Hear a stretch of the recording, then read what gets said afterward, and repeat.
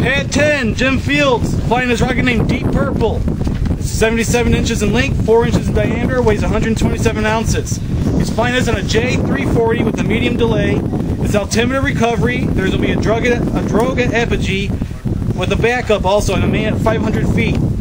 All right. Oh, well. and it's also a metal storm, so you should see all sorts of sparks and flames and everything else that's good in the world.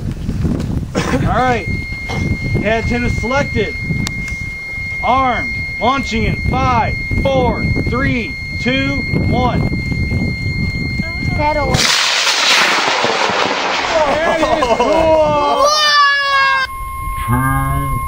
Yeah.